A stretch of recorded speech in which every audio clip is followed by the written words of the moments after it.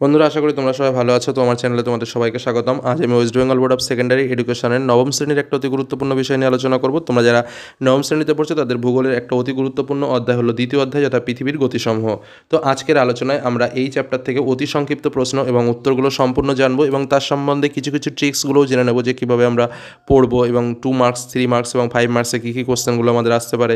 তার সঙ্গে কিছু কিছু বিষয়গুলো আমরা বুঝেও নেব আজকের এই আলোচনার মাধ্যমে। বন্ধুরা, তার আগে যারা এখনও চ্যানেলকে সাবস্ক্রাইব করনি, তারা অবশ্যই চ্যানেলটিকে সাবস্ক্রাইব করে নাও এবং বেল আইকন ক্লিক করে অল বাটনটি ক্লিক করো চ্যানেলের সমস্ত ভিডিও এর নোটিফিকেশনগুলো পাওয়ার জন্য। শুরু করে যাক আজকের আলোচনা। তো আজকের আলোচনা আমরা যে বিষয়টা জানব, তোমাদের নবম শ্রেণির দ্বিতীয় অধ্যায় পৃথিবীর গতি সমূহ সম্পর্কে। তো এর আগে আমরা প্রথম অধ্যায় কিন্তু গ্রহরূপে পৃথিবীর সমস্ত বিস্তারিত আলোচনা, অর্থাৎ শর্ট টাইপের question two marks question three marks question এবং ফাইভ মার্কস কোশ্চেনের সম্পূর্ণ নোট কিন্তু আমি তোমাদের সামনে তুলে ধরেছি। এবং ফার্স্ট ইউনিট সেকেন্ড ইউনিটের যে সাজেশন ইতিমধ্যে, সেটাও কিন্তু আমি তোমাদের সামনে তুলে ধরেছি। যারা দেখোনি তারা অবশ্যই ডিসক্রিপশন বক্সে সব থেকে বেস্ট চ্যানেল প্লে লিস্টে গিয়ে তোমরা সেখান থেকে দেখে নিতে পারো। তো আজ আমরা যে বিষয়টা নিয়ে জানব, সেটা হচ্ছে দ্বিতীয় অধ্যায়, অর্থাৎ পৃথিবীর গতি গতিসমূহ থেকে আমাদের কি কি শর্ট টাইপের কোশ্চেন আসতে পারে, তার সম্পূর্ণ নোটস এবং টু থ্রি এবং ফাইভ মার্কসে কী কোশ্চেন আসতে পারে তার প্রশ্ন সংকলন এবং তার সঙ্গে এর পরবর্তী ভিডিওতে আমরা টু থ্রি এবং ফাইভ মার্কসের যে টোটাল নোটসের অ্যান্সারটা সেটাও কিন্তু আমরা জেনে নেব। তো আজ আমরা শর্ট এবং প্রশ্নগুলো জানব। তো প্রথম শর্ট বিভিন্ন গ্রহ নক্ষত্র ছায়াপথ প্রভৃতি নিয়ে কোন বিদ্যা আলোচনা করে? উত্তর হচ্ছে জ্যোতির্বিজ্ঞান বা অ্যাস্ট্রোনমি। পরের প্রশ্ন, পৃথিবীর গতি সম্পর্কে পৃথিবী কেন্দ্রিক মহাবিশ্বে প্রথম ধারণা দেন কে? টলিমি। পৃথিবী কেন্দ্রিক মানে হচ্ছে পৃথিবী কেন্দ্রে অবস্থান করে। আগের চ্যাপ্টারে তোমরা পড়ে নিয়েছো। তারপরে, শুধু পৃথিবী কেন? সূর্য নিজের অক্ষে ঘোরে। কথাটি প্রথম কে বলেছিলেন? Giordano Bruno. নামটা মনে রাখবে, জিওদ্দার্ণ ব্রুনো। তোমরা প্রয়োজনে এই যে প্রশ্নগুলো আমি তোমাদের সামনে তুলে ধরছি, এগুলো নোটস করে নাও পরীক্ষায়। কিন্তু এর মধ্যে থেকেই সেকেন্ড ইউনিট টেস্ট এবং ফাইনাল ফার্স্ট ইউনিট টেস্ট কিন্তু এর মধ্যে থেকে কিন্তু তোমাদের প্রশ্ন আসবে শর্ট টাইপের কোশ্চেনগুলো মানে এই চ্যাপ্টার থেকে।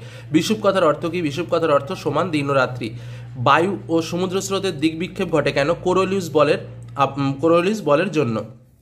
অধিবর্ষের দিনের সংখ্যা কত? তা অধিবর্ষের দিনে তোমরা জানো যে ফেব্রুয়ারি মাসের দিন সংখ্যা একদিন বাড়ানো হয়, আর সাধারণভাবে তিনশো পঁয়ষট্টি দিনে বছর হয় এবং তার সঙ্গে একদিন বাড়িয়ে অর্থাৎ অধিবর্ষের দিনের সংখ্যা তিনশো ছেষট্টি দিন।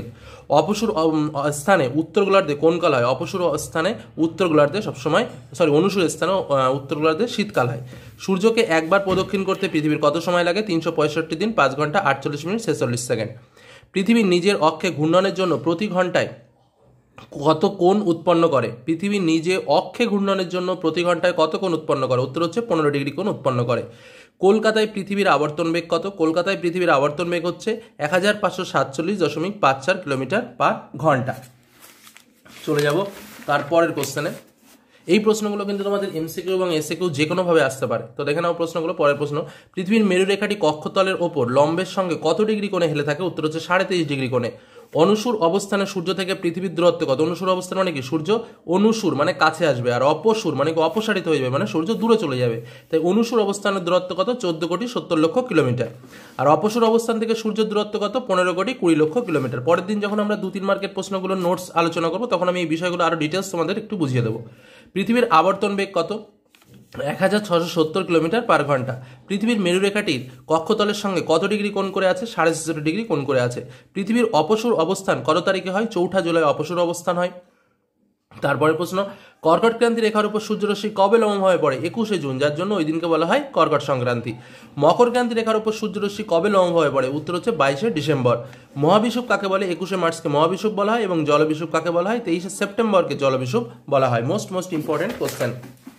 তারপরে চলে আসি, সূর্যের উত্তরায়ণের শেষ সীমা কি? সূর্যের উত্তরায়ণের শেষ সীমা হলো কর্কট ক্রান্তি রেখা মানে এই নিচে থেকে আস্তে আস্তে কর্কট ক্রান্তি রেখা পর্যন্ত যাবে। আবার কর্কট ক্রান্তি রেখা থেকে সূর্য নিচের দিকে মকর ক্রান্তি রেখা পর্যন্ত পড়বে তার মানে উত্তরায়ণের শেষ সীমা কি? কর্কট ক্রান্তি রেখা। দক্ষিণায়ণের শেষ সীমা কি? মকর ক্রান্তি রেখা। পরের প্রশ্ন, দক্ষিণায়ণের শেষ সীমা কি? মকর ক্রান্তি রেখা।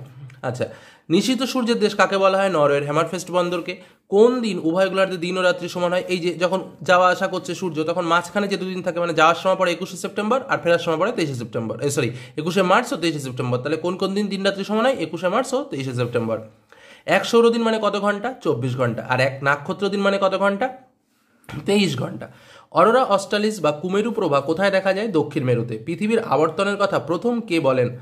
চারশো নিরানব্বই সালে আর্যভট্ট বলেছিলেন, মেরু অঞ্চলে পৃথিবীর আবর্তন বেগ কত শূন্য ডিগ্রি, কর্কট ক্রান্তি ও মকর ক্রান্তি রেখায় পৃথিবীর আবর্তন বেগ কত এক হাজার পাঁচশো ছত্রিশ কিলোমিটার পার ঘণ্টা। পৃথিবীর দিন ও রাত্রি গঠনের প্রধান কারণ কি পৃথিবীর আবর্তন? কোথায় পৃথিবীর আবর্তন বেগ সবচেয়ে বেশি? নিরক্ষীয় অঞ্চলে পৃথিবীর আবর্তন বেগ সবচেয়ে বেশি। এক ডিগ্রি দ্রাঘিমার পার্থক্য সময়ের পার্থক্য কত? চার মিনিট। পৃথিবীর কক্ষপথের দৈর্ঘ্য কত? ছিয়ানব্বই কোটি কিলোমিটার। কোন অঞ্চলে সারা সারা বছর দিন রাত্রির দৈর্ঘ্য সমান? নিরক্ষীয় অঞ্চলে সারা বছর দিন রাত্রির দৈর্ঘ্য সমান। তারপরে হচ্ছে কারণ সূর্যরশ্মি লম্ববিকরণ দেয় এই অঞ্চলে। এক দক্ষিণ গোলার্ধের সবচেয়ে বড় দিন ও ছোট রাত কবে? বাইশে ডিসেম্বর। উত্তর গোলার্ধের সবচেয়ে বড় দিন ও ছোট রাত কবে? একুশে জুন। পৃথিবীর কোন অঞ্চলে ঋতু পরিবর্তন হয় না? নিরক্ষীয় ও মেরু অঞ্চলে ঋতু পরিবর্তন হয় না। একুশে মার্চ ও তেইশে সেপ্টেম্বর মধ্যাহ্নে নিরক্ষরেখায় সূর্যরশ্মির ওপর কত ডিগ্রি কোন সৃষ্টি করে? নব্বই ডিগ্রি। নিরক্ষরেখা বা জিরো ডিগ্রি অক্ষাংশে পৃথিবীর আবর্তন বেগ কত এক হাজার কিলোমিটার পার ঘণ্টা। সূর্যের আপাত বার্ষিক গতিপথকে কি বলা হয়? রবিমার্গ বলা হয়। পৃথিবী সূর্যের চারিদিকে ঘুরছে, এই কথা প্রথম কে বলেছিলেন? এই কথা প্রথম বলেছিলেন কোপার্নিকাস। তারপরে কোশ্চেন সূর্যের আপাত গতিশীলতাকে কি বলা হয়? ঠিক একই কথা আপাত গতিশীলতাকে রবিমার্গ বলা হয়। পরের প্রশ্ন, পৃথিবীতে দিন ও রাত্রি সংগঠনের প্রধান কারণ কি? পৃথিবীতে দিন ও রাত্রি সংগঠনের প্রধান কারণ হলো পৃথিবীর আবর্তন গতি। তারপরে কোশ্চেন কোথায় পৃথিবীর আবর্তন গতি সবচেয়ে বেশি? ঠিক একইভাবে নিরক্ষরেখায় পৃথিবীর আবর্তন গতি সবচেয়ে বেশি। পরের কোশ্চেন পৃথিবীর আলোকিত ও অন্ধকার সীমারেখাকে কি বলা হয়? উত্তর হচ্ছে ছায়াবৃত্ত বলা হয়। পৃথিবীর কক্ষপথের দৈর্ঘ্য কত? উত্তর ছিয়ানব্বই কোটি কিলোমিটার। দ্রাঘিমা সময়ের পার্থক্য কত? চার মিনিট। মানে এক ডিগ্রি দ্রাঘিমার সময়ের পার্থক্য কত? চার মিনিট। এই তোমাদের ভূপৃষ্ঠের যে অবস্থা নির্ণয়ের যে অঙ্কের যে টেকনিকগুলো তোমরা জানো যে তিনটে অঙ্ক রয়েছে। একটা হচ্ছে দ্রাঘিমা নির্ণয়, অক্ষাংশ এই আর একটা হচ্ছে সময় নির্ণয় এবং আরেকটা হচ্ছে প্রতিবাদ স্থান ও আন্তরিক তার রেখা নির্ণয়ের সময় নির্ণয়? তো এই তিনটে টাইপসেরই অঙ্ক কিন্তু করে দেওয়া আছে, প্রত্যেকটা অঙ্ক কীভাবে করতে হয় শেখানো আছে। চ্যানেল ডিসক্রিপশন বক্সে যাবে, সেখানে একদম লেখা রয়েছে class nine geography math and map মানে অঙ্ক এবং তোমাদের যে ম্যাপ পয়েন্টিং আছে, তার জন্য একটা আলাদা ফোল্ডার করা রয়েছে, সেখানে যাবে, সেখান থেকে সমস্ত বিষয়গুলো তোমরা দেখে নেবে। চ্যানেল প্লেলিস্টে যাবে, গিয়ে সেখান থেকে দেখে নিতে পারো। চলে যায় তারপরে কোশ্চেন কোন অঞ্চলে, সারা, কোন অঞ্চলে সারা বছরের দিন রাত্রির দৈর্ঘ্য সমান? নিরক্ষীয় অঞ্চলে। দক্ষিণ ভারতের সবচেয়ে বড় দিন ও ছোট রাত্রি কত তারিখে? বাইশে ডিসেম্বর। উত্তর ভারতের সবচেয়ে বড় দিন ও ছোট রাত্রি কত তারিখে? একুশে জুন। পৃথিবীর কোন অঞ্চলে ঋতু পরিবর্তন হয় না? নিরক্ষীয় ও মেরু অঞ্চলে ঋতু পরিবর্তন হয় না। একুশে মার্চ ও তেইশে সেপ্টেম্বর, মধ্যাহ্নে নিরক্ষরেখায় সূর্যরশ্মির ওপর কত ডিগ্রি কোণ অবস্থান করে? Ninety degree. কোন গতির ফলে ঋতু পরিবর্তন হয়? বার্ষিক গতি বা পরিক্রমণ গতির ফলে ঋতু পরিবর্তন হয়। মেরু অঞ্চলে প্রতি ছ মাস অন্তর রাত্রিবেলায় যে আলোক বিচ্ছুরণ দেখা যায়, তাকে কি বলা হয়? মেরুজ্যোতি বা মেরুপ্রভা বা অরোরা বরিয়ালিস। সৌরজগতের কোন গ্রহের আবর্তনকাল সবচেয়ে বেশি? তো বৃহস্পতির। তারপরে হচ্ছে পৃথিবী কেন্দ্রিক আবর্তনবাদের প্রবক্তাকে অ্যারিস্টটল, সূর্যকেন্দ্রিক আবর্তনবাদের প্রবক্তাকে নিকোলাস কোপার্নিকাস।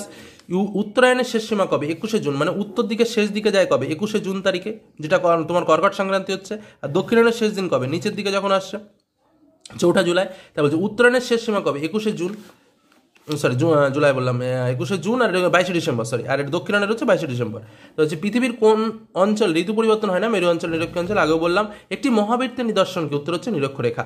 একটি নক্ষত্র দিনের তুলনায় একটা সৌরদিন কত কম? তিন মিনিট ছাপ্পান্ন সেকেন্ড কম। কারণ কি নক্ষত্র দিন মানে কত? নক্ষত্র, এই নক্ষত্র দিন মানে হচ্ছে তেইশ ঘণ্টা ছাপ্পান্ন মিনিট আর ষোলো দিন মানে কত? চব্বিশ ঘণ্টা। তাহলে পার্থক্যটা কত হচ্ছে দেখো তো? তিন মিনিট ছাপ্পান্ন সেকেন্ড বিয়োগ করলে যাই হোক, পরের কোশ্চেনে চলে যায় দক্ষিণ মেরুতে অভিযানের সময় বিজ্ঞানীরা কোন সময়টিকে বেছে নেন? উত্তর হচ্ছে ডিসেম্বর ও জানুয়ারি মাসে দক্ষিণ ভারতে যাওয়ার চেষ্টা করে। তো এবার এই যে ছবিটা দেখতে পাচ্ছ, এই ছবিটা আমি পরের দিন আরও ডিটেলস জানিয়ে দেবো, কারণ এই ছবিটার মধ্যে আমরা অনেক কিছুই, অনেক শর্ট কিন্তু এই ছবিটার মধ্যে রয়েছে। যেমন আমি একটুখানি বুঝিয়ে দিতে বোধ যে এখান থেকে শুরু করে এখানে যদি আমি যাই, তাহলে এখানে হচ্ছে মকর ক্রান্তি রেখা, এটা হচ্ছে কর্কট ক্রান্তি রেখা। বাইশে ডিসেম্বর থেকে সূর্য উপরের দিকে যাওয়া শুরু করে। এই যে যাওয়ার পথ, উপরের দিকে যাওয়া শুরু করে, কোন দিক থেকে? সূর্য কোথা থেকে কোথা ঘুরে আগে সেটা বলে নি। এই অংশ থেকে এই অংশ পর্যন্ত সূর্য ঘোরাঘুরি শুরু করে। কি বললাম, বোঝা গেল? মানে ওপরে যায়, আবার নিচে নেমে আসে। ওপরে যায়, আবার নিচে নেমে আসে। তো এই যে জিনিসটা, এটা হচ্ছে সূর্যের আপাত গতি। আপাত গতি কি? আমরা সাধারণভাবে কি দেখি? যে সূর্য সকালবেলা পূর্ব দিকে ওঠে, পশ্চিম দিকে অস্ত যায়। তার মানে কি? পৃথিবী দাঁড়িয়ে আছে, সূর্য ঘুরে বেড়াচ্ছে। এই যে ব্যাপারটা, এটাই হলো কিন্তু আপাত গতি। তো এই যে আমরা যেটা পড়ছি, উত্তরায়ণ দক্ষিণায়ন অপসূর, অনুসূর, সব কিন্তু সূর্যের আপাত গতির মধ্যে। তো দেখো, বাইশে ডিসেম্বর সূর্য কি করছে? মকর ক্রান্তি রেখার উপর লম্ব বিকিরণ দিচ্ছে। তো এর জিরো ডিগ্রির এই পাশে কোন গোলার্ধ? দক্ষিণ গোলার্ধ। জিরো ডিগ্রির ওই পাশে কোন গোলার্ধ? উত্তর গোলার্ধ। তো বাইশে ডিসেম্বর থেকে সে ধীরে ধীরে ধীরে ধীরে কি করছে? একুশে জুন পর্যন্ত সে কোথায় যাচ্ছে? উত্তর দিকে যাচ্ছে। যার জন্য বাইশে ডিসেম্বর থেকে একুশে জুন পর্যন্ত সময়কালকে বলা হয় সূর্যের উত্তরায়ণ। আবার দেখো, একুশে জুন থেকে সূর্য বাইশে ডিসেম্বর পর্যন্ত নিচের দিকে আসছে। যার জন্য এই সময়কে বলা হয় সূর্যের দক্ষিণায়ন আবার দেখো, যেতে যেতে একুশে মার্চ তারিখে সূর্যরশ্মি লম্বভাবে কিরণ দিচ্ছে। যার জন্য একুশে মার্চ তারিখকে বলা হচ্ছে মহাবিষুব। মানে একদম বারো ঘণ্টা দিন, বারো ঘণ্টা রাত উভয় গোলার্ধে আবার ঠিক ফেরার সময় দেখো, তেইশে সেপ্টেম্বরে সূর্যরশ্মি মাঝখানে কিরণ দিচ্ছে যার জন্য তেইশে সেপ্টেম্বরকে বলা হচ্ছে কি জল বিষুব। যে এখানেও কিন্তু ঠিক একই ব্যাপার, উত্তর মানে পুরো দুই গোলার্ধে সমান দিন রাত। আর এই বাইশে ডিসেম্বর তারিখে যখন সূর্যরশ্মি লম্বভাবে কিরণ দিচ্ছে, এই যে সাড়ে তেইশ ডিগ্রি দক্ষিণ অক্ষরেখার উপর তখন তাকে বলা হচ্ছে মকর সংক্রান্তি। ঠিক একইভাবে যখন একুশে জুন তারিখে যখন সূর্য উপরে গিয়ে কর্কটক্রান্তি রেখার উপর লম্বভাবে কিরণ দিচ্ছে, তখন তাকে বলা হয় কর্কট সংক্রান্তি। তো এই হলো কর্কট সংক্রান্তি, মকর সংক্রান্তি জল বিষুব মহাবিষুব উত্তরায়ণ দক্ষিণায়ন দেখো কত কিছু জেনে নিলে এর মধ্যে। চলে যাব। এরপরে আরও ডিটেলস আমরা যাব। পরের দিন যে আমরা আলোচনা করব, সেই আলোচনার মধ্যে আমরা চলে যাব। তো এবার আমরা জেনে নিই যে আমাদের এই চ্যাপ্টার থেকে দুই মার্ক তিন মার্ক এবং পাঁচ মার্ক কী কী প্রশ্ন আসতে পারে। তো দুই মার্কের প্রশ্নগুলো কী কী আসতে পারে? কর্কট সংক্রান্তি কি, মকর সংক্রান্তি কি, ছায়াবৃত্ত কি জলবিষুব কি মহাবিষুব কি, অধিবর্ষ কি, মেরুজ্যোতি কি, কুমেরু প্রভা, সুমেরু প্রভা, অপসুর, অনুসুর, উত্তরায়ণ দক্ষিণায়ন সূর্যের আপাতগতি কাকে বলে? এই প্রশ্নটা টু মার্কের জন্য প্র্যাকটিস করবে। থ্রি মার্কের জন্য মোস্ট ইম্পর্টেন্ট কিছু কোশ্চেন রয়েছে। পৃথিবীর দিন ও রাত্রির দৈর্ঘ্যের রাজবৃদ্ধির কারণ কি? আমরা পৃথিবীর আবর্তন বেগ অনুভব করি না কেন? বিজ্ঞানী ফুকোর পরীক্ষাটি লেখো এবং সৌরদিন ও নক্ষত্র দিনের পার্থক্য লেখো। ফাইভ মার্কসের জন্য যে ইম্পর্টেন্ট কোশ্চেনগুলো রয়েছে, আর্নিক গতি ও বার্ষিক গতির পার্থক্য লেখো। পৃথিবীর আবর্তন গতির প্রমাণগুলি দাও। পৃথিবীর আবর্তন গতির ফলাফল আলোচনা করো। পৃথিবীর পরিক্রমণ গতির ফলাফল আলোচনা করো। তো এর পরের ভিডিওতে আমরা এই যে প্রশ্নগুলো বললাম, অর্থাৎ টু মার্কস থ্রি মার্কস এবং ফাইভ মার্কস এই প্রশ্নের সম্পূর্ণ নোটস আমরা আলোচনা করব এবং বিষয়টিও টুকটাক করে একটু বুঝে নেব।